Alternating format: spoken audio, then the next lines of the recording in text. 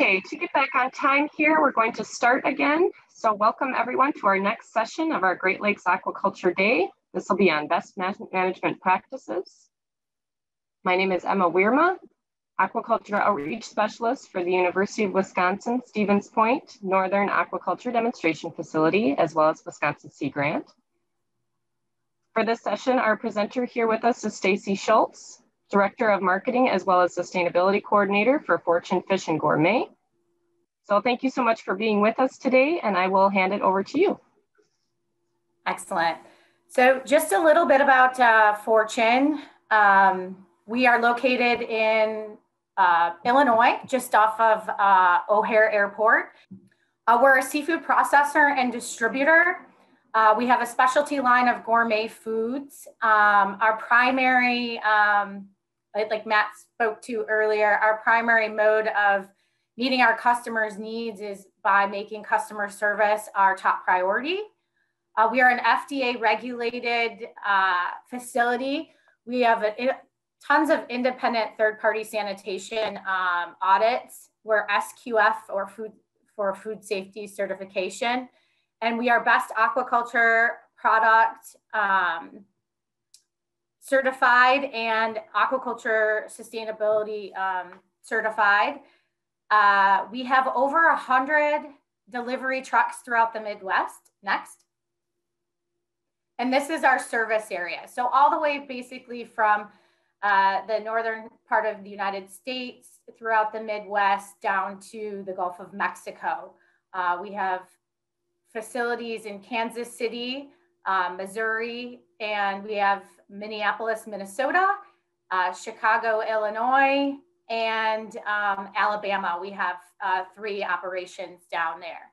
So um, all of those uh, facilities do processing. Next. Uh, as far as best practices are concerned, you, we look at um, how sustainable the fishery is or how sustainable the aquaculture um, facility or process is. And this is kind of how an easy um, explanation definition of sustainability as a characteristic or a process uh, state that can be maintained at a certain level indefinitely. So we always say we impact our ecosystems through what we eat. The choices that we make for dinner can harm or hurt the environment, but we can also heal and restore it by choosing the right things um, pillars of sustainability that we um, as Fortune uh, stand by are that there's an environmental pillar, an economic pillar, and social. So it's not all about the environment. Um, it's not all about how everything is in fact affected um, environmentally. Uh, there's an economic uh, point, you know, as we're all kind of going through COVID right now, we're realizing how important uh, that piece of the puzzle is and then socially um, with our communities, making sure that people are employed, having healthy lifestyles. Um, we already know that seafood is good for the environment and very sustainable. Um, if you look at it compared to other proteins. I mean, here are some food conversion ratios and CO2 emissions data. Um, we don't have to fight that good fight anymore. Um, we know this protein is sustainable, it's good for the environment, uh, it's good for climate change. But we have a lot of organizations um, that, that rank or rate sustainability and they kind of pick apart that um, the sustainable aspects of seafood, that's fisheries and aquaculture. So here are some of the organizations, just a handful that look at the different aspects of sustainability in seafood. Next. Um, just to clarify, there are kind of two different ways to look at sustainability in seafood. There's rating and there's certifying. Uh, there's systems like rating systems that just classify or rank someone or something based on a cooperative assessment of their quality standard or performance. So that would be like the Monterey Bay Aquarium Seafood Watch Program. Uh, they recently um, have transformed into an operation that is not looking at the sustainable aspects of aquaculture based on the individual facilities or the individual uh, farms. They're looking at it based on like region. So Regal Springs tilapia in Honduras is BAP or Best Aquaculture Practice certified. They're uh, ASC certified um, by the Aquaculture Stewardship Council. Um, and they were previously rated green. But when they look at, when Monterey Bay Aquarium looks at the overall systems in Honduras and how they all compare, they've they've given all of the Honduras farms a yellow because even though Regal Springs does a really great job and is very sustainable, there are some farms in the region that aren't as sustainable. So they're looking at rating the whole system and the whole the whole region. Uh, so that could be detrimental to someone like Regal Springs, who's doing a really great job, um, but it also motivates them to get the entire region involved in bringing the, the whole local uh, aquaculture production up to a certain level. Certifying is attesting or confirming to a formal statement. So officially recognizing a farm uh, or facility as possessing certain qualifications or meeting certain standards. So they're actually going in and certifying and looking at the feed production, uh, the, uh, the energy usage, how the workers are being treated, all certain elements to the actual um, specific farm or fishery. Next.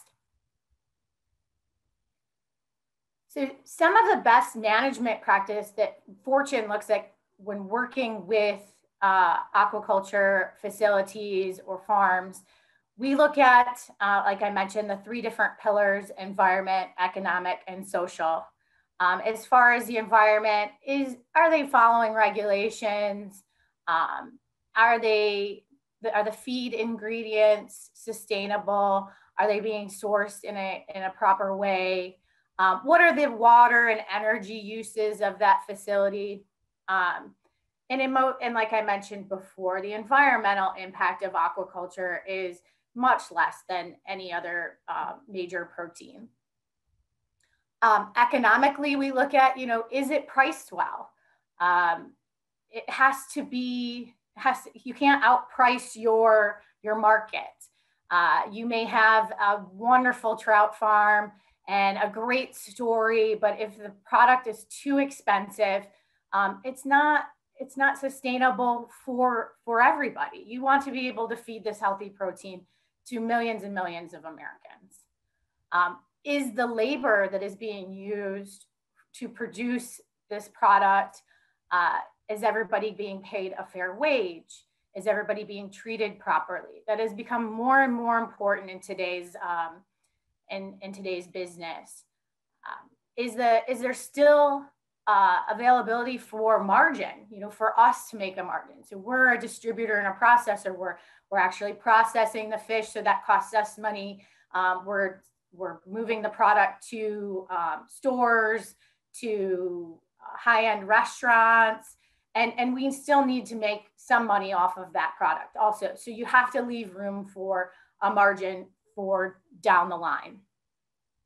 And socially, like I mentioned, you know, is it is there a fair wage being provided to your labor force? Um, are you following labor laws? Um, is inclusion and diversity um, being taken into account into your organization? And how involved are you in the community? Uh, Fortune is very involved in our local and regional community, and we feel that that's very important, uh, not only to spread the word about good, healthy seafood, but just to be a good, good player in, in business and in the in in society. You know, so do you, as a company, as an aquaculture facility, are you giving back to your community and sharing the wealth?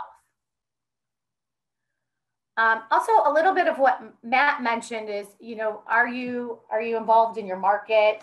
Um, is your product consistent? Uh, you need to be able to produce a product year round um, and be able to have a consistent supply. Uh, once that supply kind of dries up, you lose your customer base. Um, it's kind of like going to the grocery store and they're out of, let's say, your favorite cereal. Um, you don't go back to that store for that favorite cereal. You find a different favorite cereal or new one, or you, you go to another store and you find something very similar. Um, you have to be able to produce your product year round. Um, and number one, it has to taste good. Um, a lot of people produce a product, it's healthy, it's beautiful, um, but it has an off flavor. Um, one of the number one things that we look for when we're selling a product is does it taste good? Can we sell this? Um, as I mentioned, is it price competitive? You cannot outprice your market. Uh, it's really tough. You know, you have a great product, uh, you put a lot of work into it, you're kind of a, a niche um, market, you've done all your due diligence, uh, you've given your heart and your soul into this product, but, um, and you've been told you could get a premium price for it that that's great and all but there's tons of other people producing a very similar product and, and you have to be able to be competitive. Um, look at your competition. Look at the price that they're selling it for. Look at what they're selling. Um, that market research, I cannot stress enough, uh, like Matt said, is very important. You know, you can't be just another trout farmer. Um, if, if, if someone's buying trout from us, you know, we can't have eight different types of trout. They're all very similar when they come onto the plate. And most of them have a really wonderful story and are very sustainable to begin with. I'm not knocking trout. Trout is great. It is amazing. And there's plenty of room for it in the market, um, in different markets, in local markets. Um, but just make sure that you're not producing the same exact product that your neighbor is. Uh, marketing, um, that is my background um, along with marine biology. But um, having a website, you you'd be um, you'd be amazed at how many fishermen, farmers do not have websites to tell that story about the amazing product that they have. Um, it helps with transparency, you know, where it came from, how it was farmed, what it was fed, what your food conversion ratio is, all that wonderful stuff and information that you've worked so hard to, to make your product sustainable, but you need to sell that message. Provide images of your product. Um, whole fish pictures are very hard to come by. It's amazing. Um, uh, some people have only seen fillets. They go to the grocery store, they see what that looks like, but they've never seen what a whole fish looks like. And uh, I feel like that's very important to see the health of the animal and that it's being treated properly. Packaging, um, do not um, do not slack on your packaging. People want a clear, clean package.